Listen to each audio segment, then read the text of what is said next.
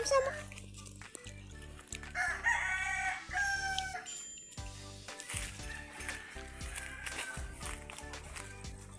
Manguha may og dahon saging.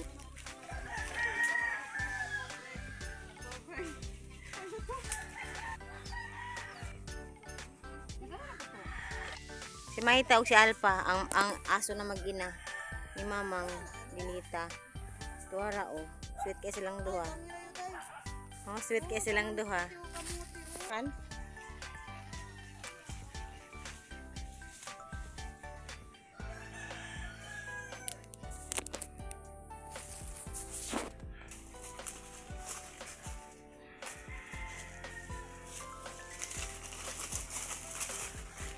Wala uli namin.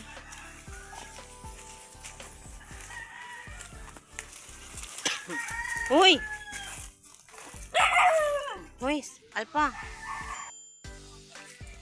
Aray. Si Sol. So, nakakita ko itlog, itlog, itlog. Ayan. Sobrang pawis kasi gumagawa kami ng puto, guys. At gumagawa din ako ng panggatong, panggatong. Yan ang aming puto. Yan ang aming puto, guys. Kamanting or kasaba. Ayan. Ako ang gumawa niyan, no? Oh, ayan. Baris. Ganda. Ayan. Ayaw na, ayaw.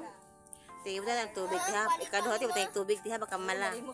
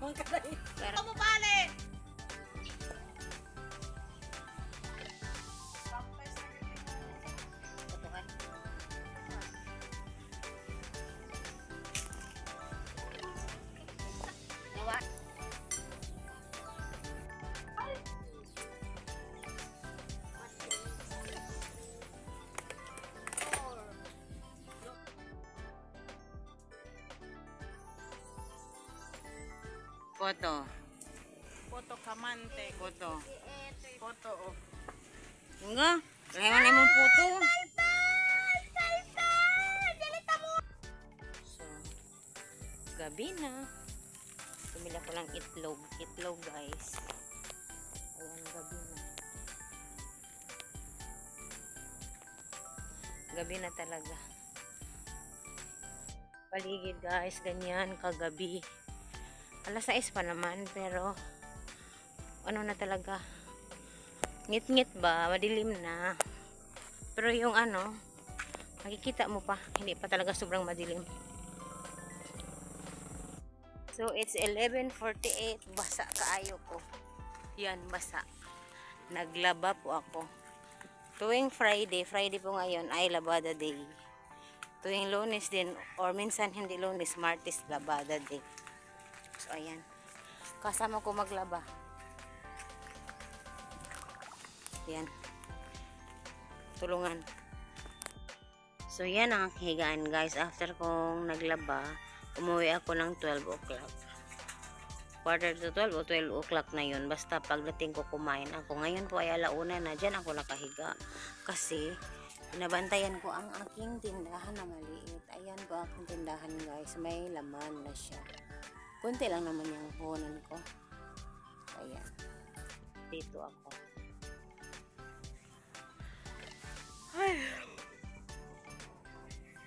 Alam nyo po, kulang ang aking tulog kagabi.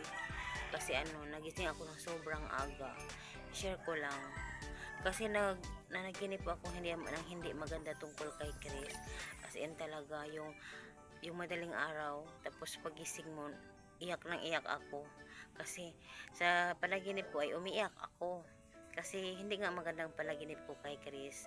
So hindi ko nga siya ngayon pinapagpasada ng habal-habal ngayong araw. At sinabihan ko siya agad pag gising ko na may mananaginip ako na hindi maganda. So, hindi ko na-edit yung panaginip ko kung ano yun. Pero hindi talaga siya maganda. So, sinabi ko sa kanya, huwag siyang mamasada. Tapos, pagkagising ko talaga, guys, nag nagdasal ako. Ni-review ko talaga yung panaginip kong hindi maganda. Sabi ko, basta. So, umalis si Chris ngayon dahil yung biyanan ko wala man dito. So, yung senior senior ba, senior citizen ba niya na may matatanggap sila, yung indigent mga senior citizen, may matatanggap sila. So, may pipirmahan daw doon, pero wala pang matatanggap ngayon. May pipirmahan daw doon sa attendance, hindi ko alam kung ano yun. Basta pumunta si Chris at ako, naiwan ako mag-isa dito. Ayun, nagbabantay nga ng tindahan. Kanina, sinara namin yan dalawang oras kasi tinulungan ako ni Chris maglabada doon sa amo. Kasi nag-promise ka talaga siya sa akin na pag maglabada daw ako, tutulungan na niya ako. Kasi dati guys, nung na-start ako maglabada, maglaba ako ng 9 o'clock or 8. Matapos ako ng 2 o'clock, 3 o'clock. Kasi marami-rami ding nilalabahan ko ba noong that time. Kasi ngayon, pa konti-konti lang, kaya nga hindi masyadong pagod. So ayun, mararami yung nilalabahan ko. So, hindi siya tumutulong sa akin. Minsan lang talaga pumunta siya. Minsan natapos na ako. Namasada siya. Pero minsan pag uwi niya, wala din naman siyang income. So, yung time na nai, naiinis na ako sa kanya, sinabi ko talaga siya kanya na "Eh, nagkasakit man ako nung ano, last last week of October tapos buong November balik-balik yung ubo ko na hindi ko maintindihan natatakot nga ako doon sinabihan ko siya na hinto ako maglaba kasi nagkakasakit ako hindi ka tumutulong. So yun tumutulong siya ngayon. Tinutulungan talaga niya ako. Pum- pumupunta talaga siya. Siya ang magbabanlaw siya ang magsasampay kasi ako ang magwashing. Tulungan talaga kami dalawa. Kasi yung sahod ko dito sa paglalaba binib- eh, binibili namin ito ng bigas. So ayan. May bigas pa nga kami ayan yung bigas namin konti. So yung sa silid namin guys yung karton ni Dudong oh yung karton ni Dudong ayan karton. Gusto niya yung palitan. Maghanap kami ng malalaking karton. Sabi ni Chris maghanap kami. Tapos gusto ko sanang lagyan ng, la- lagyan ng ganito ba floor mat yung sa sul- silid namin kasi hindi kasi maganda yung semento namin ay rough. Hindi siya yung semento na makinis rough siya. Kaya maganda pag may floor mat. Pero wala pa akong budget guys Inon ako kasi yung tinda-tinda ko para si Dudong pag wala kaming pera, walang income ng patatay niya, may pambaon. May pambaon sa school di. Yun ba? Isip-isip din. So, yan lang guys. Hello guys. Happy Saturday morning. Yan po ang aming ulam. Bulad na galunggong.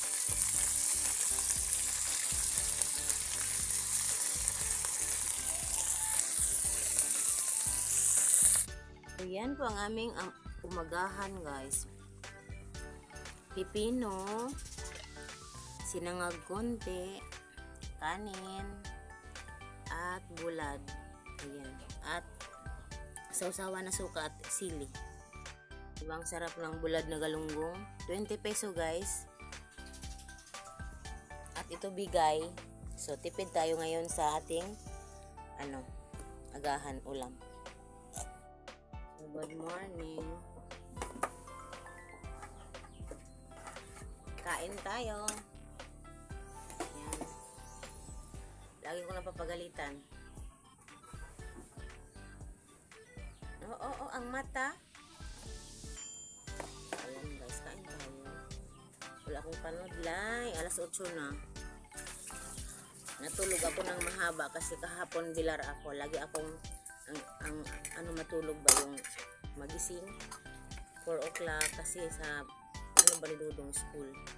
Minsan din hindi naman ako magising ng maaga siya nang nagsasaing pero ma, ako talaga minsan si Chris oh.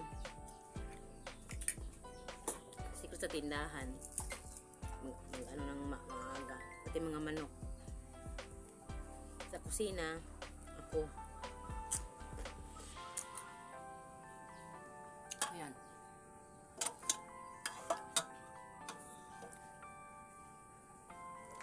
sarap ng aking agahan. Ayan, para kitang kita na ito talaga ang agahan ko.